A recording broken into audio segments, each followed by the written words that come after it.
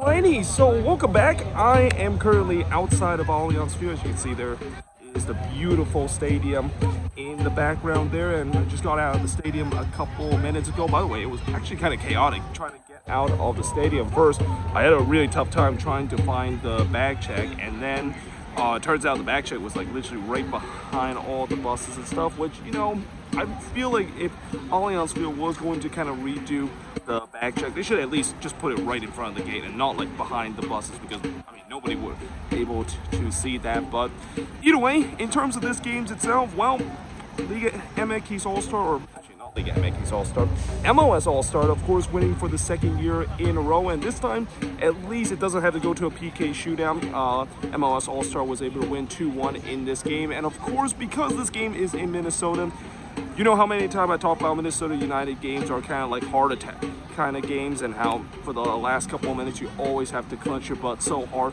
so that you hope that they can get all three points. This was pretty much the same thing. I mean, you know, MLS All-Star got the 2 nothing lead and it was 2-1 and it just realized, yep, here we go again. This is like watching a Loons game all over again, seeing them trying to hold on for the past couple of minutes, but, you know, thankfully for the MLS All-Star, they kind of shut things down pretty well. They didn't really make it that interesting in the last couple of minutes of the game, but overall, in terms of the experience itself, I mean, it was a good experience. I mean, I did went to the soccer celebration. I mean, they had some interesting there. They obviously had the MLS Today crew, or, you know, they call it MLS Today, but they might as well just call it Extra Time Radio. They interviewed a couple of legendary player and then you know they also had a Tanisha concert there and also had some soccer trivia that was going on there but besides that there was also the the usual kind of sponsors from MLS that is there. I mean I feel like for the soccer celebration I mean I'm not gonna lie, I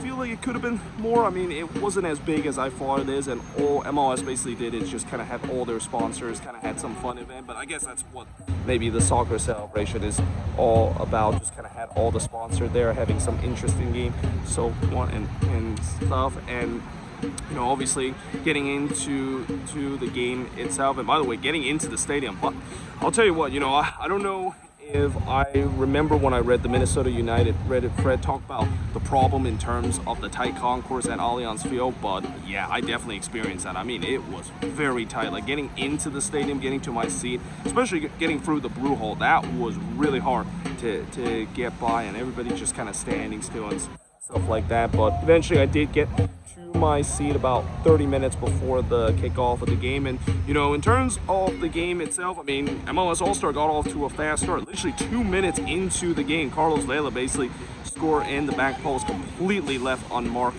there. And that, you know, I think that might be one of the earliest goals, if not the earliest goal I've ever seen in the MLS All-Star, because I don't think there's ever been an MLS All-Star goal scorer in the first minute, and certainly probably there isn't one in the second minute either. But yeah, you know, Carlos Vela after just two minutes getting the one nothing lead, and then things kind of is what you kind of expected, where things kind of got a little bit tight. But I thought Liga MX All Star started to kind of dominate, and in some way, this game kind of reminds me a little bit of Mexico versus U.S., where you know it seems like Mexico tends to likes to dominate possession against the U.S. and the same goes here with Liga MX. Kind of dominate possession but for the most part, they weren't very clinical in terms of their final third ball. Well, actually, I say that, but they also created some dangerous chances in this game, especially in the second half, and that also at times, you know, knowing Adrian Heath was coaching this this team, I thought MLS All-Star is going to go row Heath mode. And is row mode actually a thing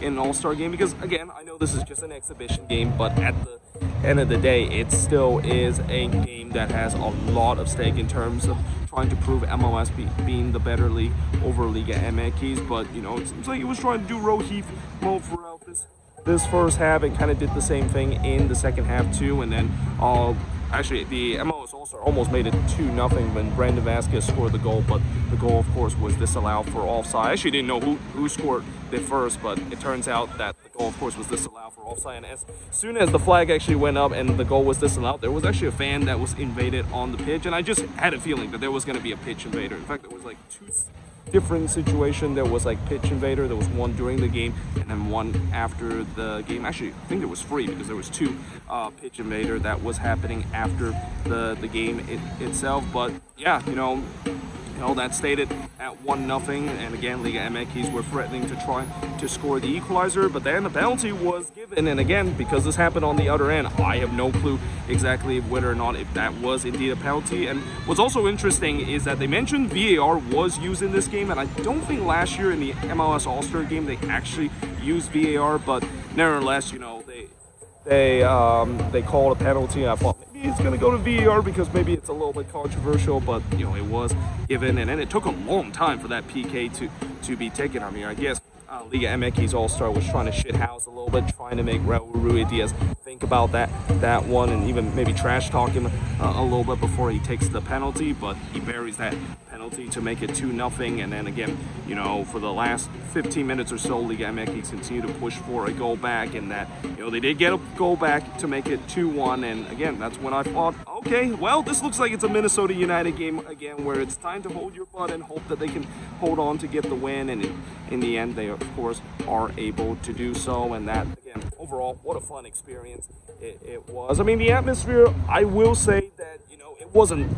the best. I was also kind of disappointed that they didn't sing Wonderwall at the end of the game. I mean, I know it's not a Minnesota United game, but come on. I, I wish they, they sing Wonderwall right at the end of the game. And also, the Wonderwall was pretty quiet throughout the game. It was more Mexico kind of uh, chant or more Si Se Puede kind kind of chant throughout the game than it is in terms of MLS chant, but I guess maybe that, you know, being this is an all-star game, it may be something that it's still just an exhibition. It, it doesn't really create, needs to create that, that kind of atmosphere as we've seen sometimes with Minnesota United game. But overall, what a fun experience it is. I am definitely going back to here. I mean, looking at that stadium itself, I mean, what a beautiful stadium it, it is. And that, again, I'm, I can get back maybe this season. I mean, I'm planning maybe come back here in October for decision day in that game against the Vancouver Whitecaps. Uh, that game is going to be a day game, so you stadium all lit up in the background. But overall, you know, what a fun experience it is. It's definitely an experience that I won't forget for a very long time. And I'm also looking to run it back too because I'm thinking,